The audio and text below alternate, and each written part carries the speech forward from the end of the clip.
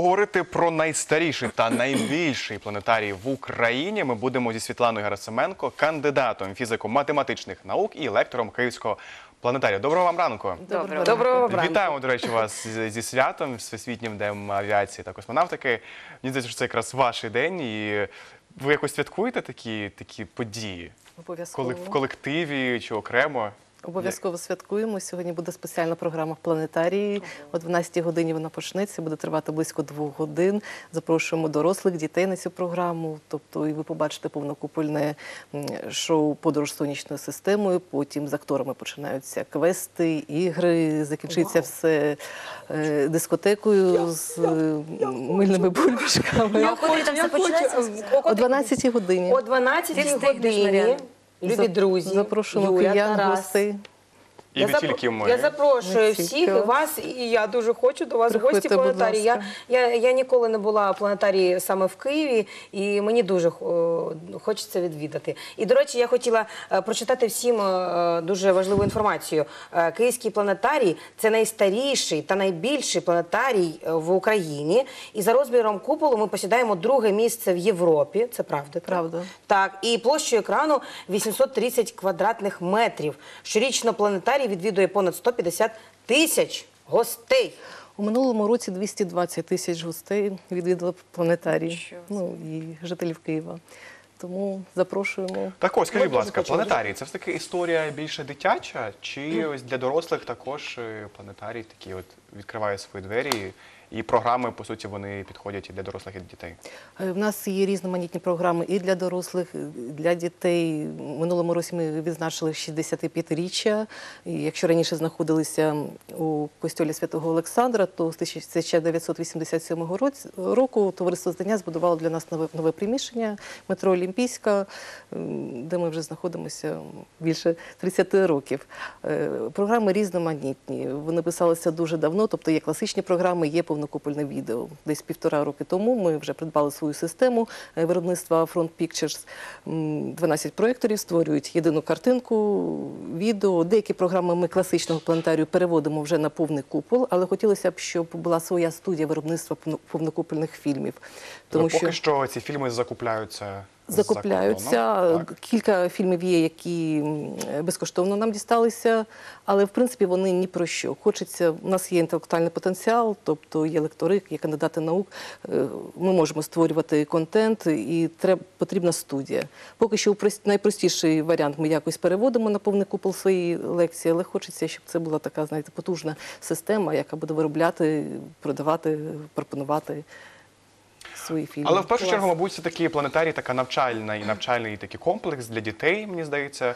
Ви знаєте, на пострадянському просторі ми єдиний планетарій, здається, який залишився, який пропонує е, школярам абонементну систему школам. Тобто протягом року ви можете купити абонемент для свого класу 5-6 програм не тільки з астрономії, але це і природознавство, це і географія, і відвідувати на допомогу вчителеві. Ось такі програми ми пропонуємо. А наскільки сучасним дітям взагалі є цікавим відвідувати планетарій? Тому що зараз є інтернет, є різні серіали, вони можуть там. Є актуальним зараз це? Діти Є цікавляться? актуальним, тому що планетарій це не тільки повнокупольне відео, або класична лекція, де лектор з мікрофоном стоїть і щось розповідає. Е, Це нове приміщення. У нас встановлений планетарій. У нас є стеля Яна Гевелія. Е, Художники намалювали його картини Північна півсфера неба, як він собі уявляв, південна, потім стеля, знаки зодіаку. Просто навіть пройти з планетарієм зараз приємно. І ми вели екскурсії. Зараз лектори читають екскурсії, знайомлять із сузір'ями. Луноход у нас стоїть, капсула із лайкою. А е, мене таке питання: от я ніколи там не була, і що яку треба обрати виставу краще? Яку яка ваша найулюблена? Ну е, на що краще піти? Для першого разу, якщо ви доросла людина, без дітей прийдете, ну та ж сама подорож сонячною системою. І для першого разу я порадила обирати програму, яка є, сумісною, де використовується і наш апарат планетарій, за допомогою якого ви можете подорожувати. Ось у вас валіза стоїть, не кожна людина на південний чи північний полюс просто так поїде. А наш апарат планетарій дозволяє це зробити. Ви побачите небо південних широт, там той ж самий Південний Хрест, е, велику там Магеланові хмари і таке інше. І ще раз назву е, того самого, який ви Апарат планетарій. Він стоїть апарат планетарій. Апарат А- Апарат планетарій, да, один з найбільших апаратів в Європі. Пані Ну, Світлано, ми, у на- ми підготували відео з Київського планетарію. Пропоную зараз його переглянути, а потім прокоментуємо. Добре.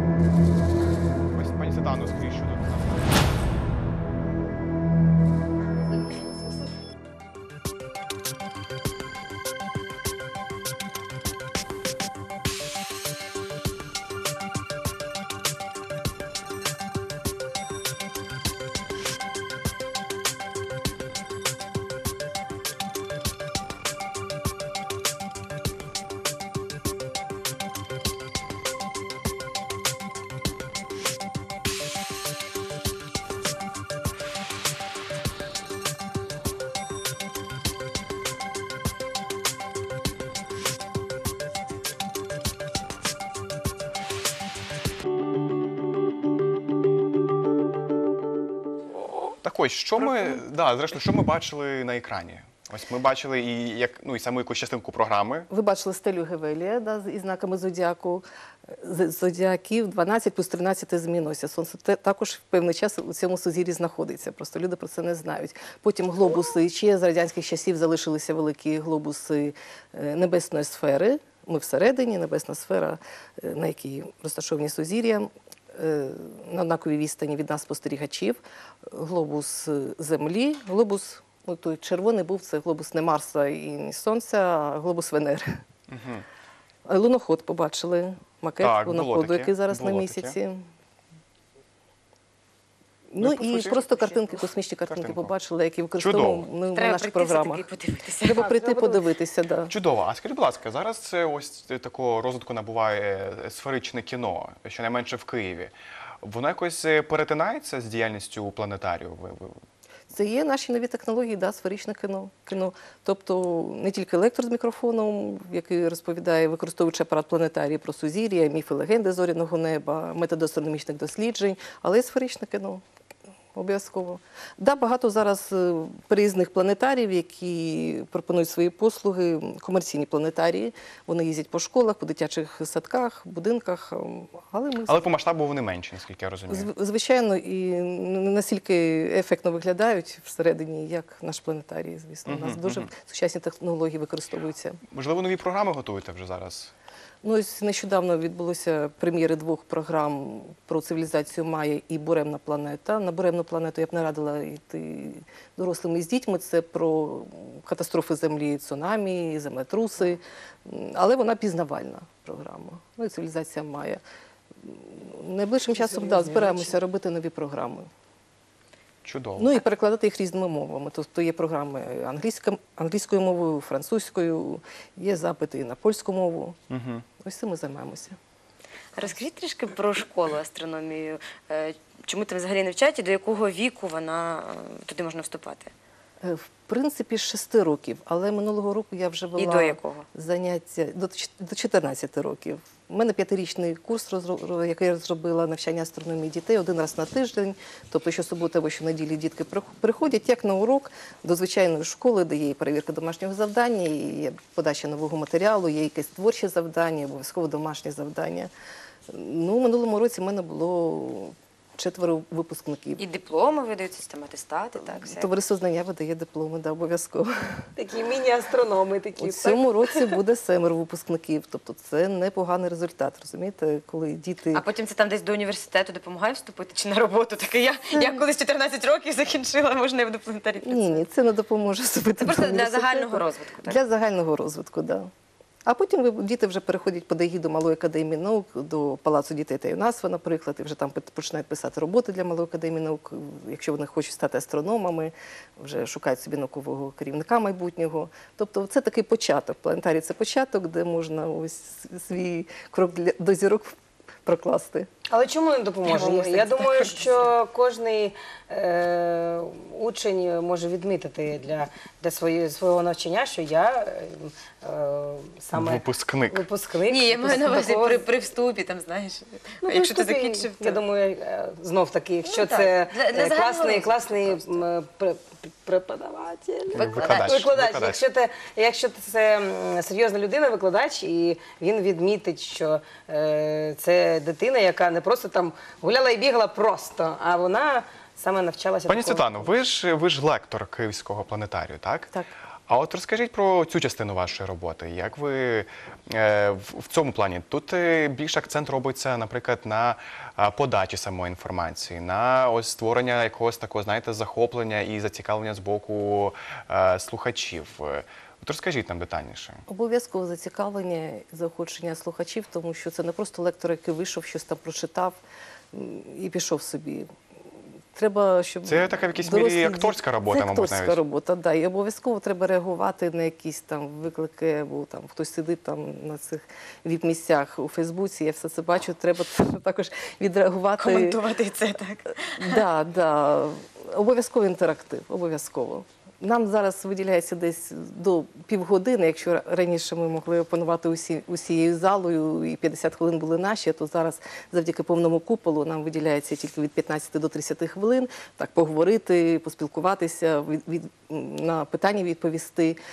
Зараз менше часу, тому, тому і є ось ці Були якісь екскурсії такі смішні ситуації? У вас же теж як, як прямий ефір, можна сказати, онлайн все. Було щось таке Ну, по, ну, по суті, така да, наживо все відбувається. Ось якісь, можливо, такі ситуації. курйози Так. відбуваються. Коли саме на це на телебаченні у прямих ефірах. Коли мене плутали зі Світланою Герасименко, яка відкрила комету Щирмою Герасименко у 1969 році. Ну, ось такі ситуації є. Да. Ну, в принципі, зараз з нею плутають. Тому що, в принципі, вона астроном, і я астроном. Ну, Ні, а саме от в планетарії, коли ви ком- коментуєте ось ці всі Е, штуки. Ви знаєте, буває, засинають люди, і треба їх розбудити. як ви їх будете? Ну, голос такий, так, мабуть.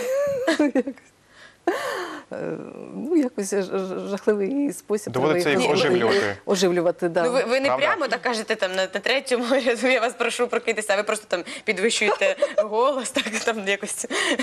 Ну, це знов така акторська як акторська собі, майстерність. Це треба, якщо є якась така розповідна частина, потім треба іншу музику змінити. Під музику читаємо лекції, е, так от розбудити всіх, а потім можна знову, щоб вони приспляли, присляли трошки, а потім знову розбудити. Ну ось А як ви вважаєте, ось е, всі ми, да, от, е, ну, наші сучасники, ми залишилися романтиками? У нас є от потреба споглядати зоряне небо, так от сісти, споглядати. Чи зрештою новітні часи, да, от 18-й рік, коли всі там ломляться в кінотеатри з попкорном, там, з солодкими водами. Як ви гадаєте? ломляться. І зараз і в нас, і з попкормом, і це навіть дозволяється. А, і в планетарії І в планетарії, да. ну, нам лекторам це не подобається. Відчувається якась неповага до лектора, але вже інше покоління, розумієте, їм дозволяється і пити, і їсти, і в телефони гратися. Е, Але оця романтика, романтика, Романтика, того, що люди приходять в планетарії, от, Тому знаєте, що коли ось це починається, вмикає я апарат планетарій, відчуваю всі навколо ах, вау, розумієте? Тому що воно то в душі є, але не кожна людина дозволить собі бути зараз астрономом або людину, або дитину свою відправити. Ми вирішили перевірити, наскільки, наскільки всі ми романтики. Знаєте, ми вирішили це перевірити. Е, теж вийшли на вулицю, запитали у людей. І що ми у них запитали? Як ви ставитеся до польоту космічної експедиції на Марс в один бік та створення там колонії населення, поселення? Ось це ми, це ми запитали. Дізнаємося, от наскільки в нас вміють романтизувати люди. Цікаво.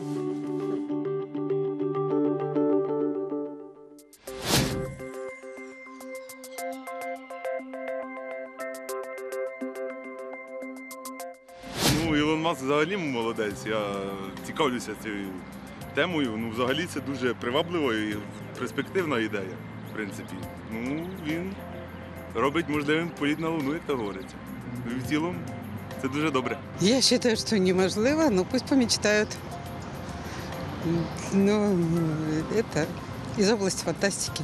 Любимо фантазувати. Це дуже круто. Розвиток це взагалі, ну тобто Ні, це просто круто. Я навіть я дуже поважаю Ілона Маска і всі його ідеї це щось неперевершене. Я думаю, что нет. Я думаю, что не стоит туда вообще на Марс нам лететь. Мне кажется, что это не, ну, неправильные мысли. Це можливо, але не знаю не в нашій країні. Якщо я знаю точно, що вже людей набрали, які туди поїдуть, і ну назад вже не, ну, не можна буде повернутися.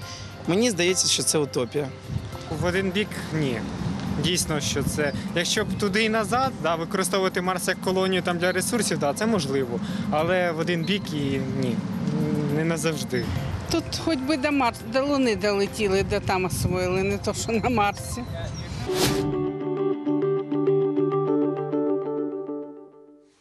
Ось такі, такі настрої серед людей. Всі кажуть, що в один бік нереально. Якби ж то туди, Бояться. туди і назад, а так в один бік ще створити там поселення. Люди чомусь не, Полетіти на люди не Марсі готові до трошки фантазії. Ось бачите? потусити і перелетіти. Ось такі, ось такі справи у нас. Жорстокий експеримент, тому що дійсно квиток в один кінець. В один кінець, так? І Є українець, який вже пройшов конкурс і він хоче летіти. А скільки туди взагалі людей буде летіти? Ну, це, це ми пофантазували. Пані Світлано, е, ми дякуємо, Нехай що ви прийшли до нас, е, поділилися інформацією про Київський планетарій. Е, Дякую. Ще раз вітаємо вас зі святом. Нас також. І у вас є ось можливість запросити наших глядачів на вашу сьогоднішню програму. Ось зверніться до них. Шановні глядачі, ми працюємо не тільки в день космонавтики. О 12 годині сьогодні особлива програма і для дітей, і для дорослих. Запрошуємо вас. А взагалі планетарій працює щодня з 10 години до 22 години. Тому запрошуємо вас до зірок. Дякуємо. Всі романтики. Світлана Герасименко, кандидат фізико-математичних наук, лектор Київського планетарію, була в нашому київському ранку.